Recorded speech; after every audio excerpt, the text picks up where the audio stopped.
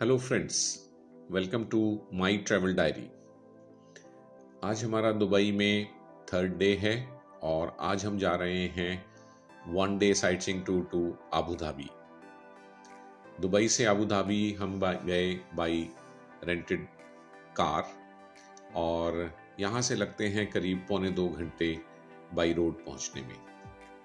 और Abu Dhabi पहुँचने पे सबसे पहले हम गए वहाँ की grand mosque grand mosque one of the biggest in the world है और यूएई की सबसे बड़ी मॉस्क है।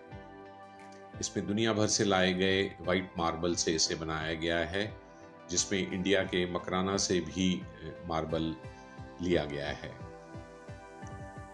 इस मॉस्क की चार बड़ी मिनारेट्स हैं, जो कि चारों कोनों पे हैं और एक बड़ा सेंट्रल हॉल है, जिसमें कि बिना कॉलम्स के ही इसे बनाया गया है।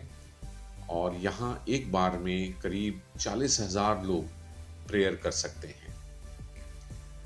जगह जगह पे गोल्डन पेंट को यूज़ किया गया है और ये बहुत ही आलिशान व्यू बनाता है।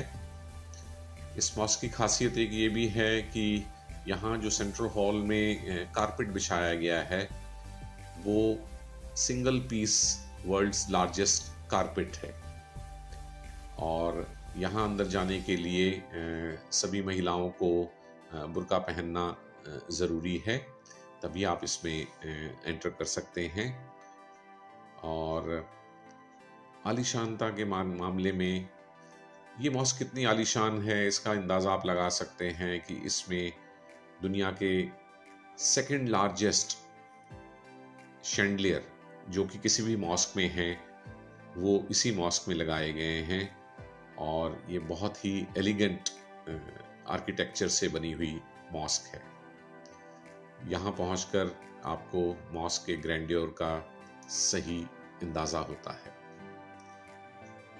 ग्रैंड मॉस्क के बाद हम लोग पहुँचे हैं एमिरेट्स पैलेस ये हुआ करता था पहले यहाँ के शेख का ऑफिशियल रेजिडेंस जिसे हम प्रेसिडेंशियल पैलेस भी कह सकते हैं।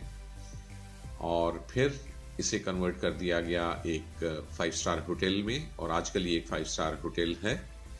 और अब प्रेसिडेंट पैलेस अलग से अबू धाबी में बनाया गया है, जहाँ यहाँ के शेख रहते हैं।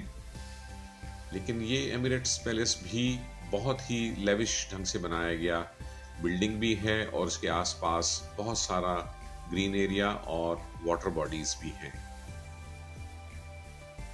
एमिरेट पैलेस से अब हम पहुँचे हैं लुअर म्यूज़ियम जी हाँ लुअर म्यूज़ियम तो आपने सुना ही होगा, जो कि ओरिजिनली जो famous Louvre world famous Louvre museum है, वो है पेरिस में। उसी के नाम पे और उन्हीं ऑर्गेनाइजर्स द्वारा मैनेज किया जाना वाला ये लुअर म्यूज़ियम है अबू धाबी में। हालाँकि इस म्यूज़ियम में जो आर्टिफैक्ट्स पेंटिंग्स या स्कल्पचर्स डिस्प्ले हुए हैं, उनकी हिस्ट्री बहुत ज़्यादा पुरानी नहीं है, क्योंकि अबू धाबी की अपनी हिस्ट्री ही बहुत ज़्यादा पुरानी नहीं है। लेकिन फिर भी ये एक इंटरेस्टिंग म्यूज़ियम है। और इसे देखना एक अलग ही एक्सपीरियंस रहता है।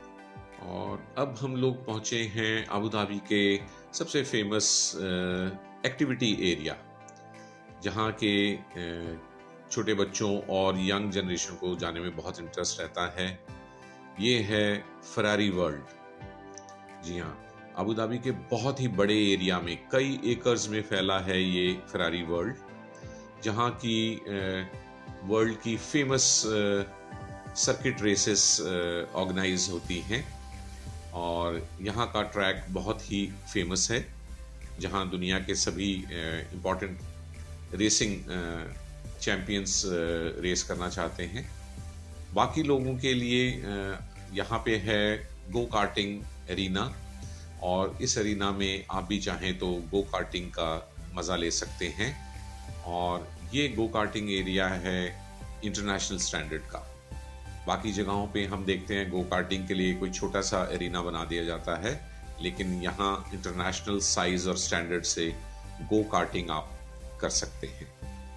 Last but not the least अब हम पहुँचे हैं प्रेसिडेंशियल पैलेस में जी हाँ ये है वो प्रेसिडेंशियल पैलेस जहाँ आजकल अबू धाबी के शेख रहते हैं और ये बहुत ही ग्रैंड स्टाइल में बनी हुई बिल्डिंग है और इसके आसपास बहुत ही बड़ा गार्डन एरिया है चारों तरफ़ और कैनाल सिस्टम और वाटर बॉडीज़ हैं, जहाँ आप पेरीफेरी ऑफ़ द पैलेस को विज़िट कर सकते हैं और एक फील ले सकते हैं कि अंदर से ये पैलेस कितना ग्रैंड होगा। सो so फ्रेंड्स आज एक ग्रैंड डे ट्रैवल करके हम लोग वापस जा रहे हैं अब दुबई, जहाँ से फिर हम वापस जाएँगे इंडिया के लिए।